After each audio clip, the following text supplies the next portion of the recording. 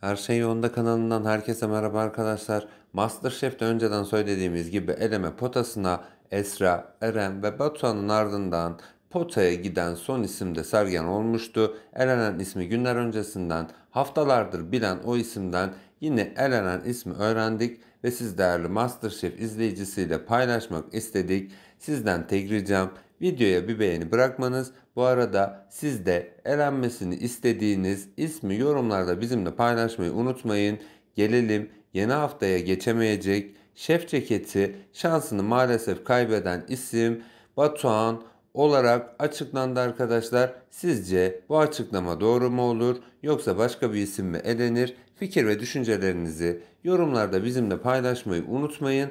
MasterChef ile ilgili en güncel bilgilerden ilk haberdar olmak için kanala abone olmayı ve bildirimleri açmayı unutmayın.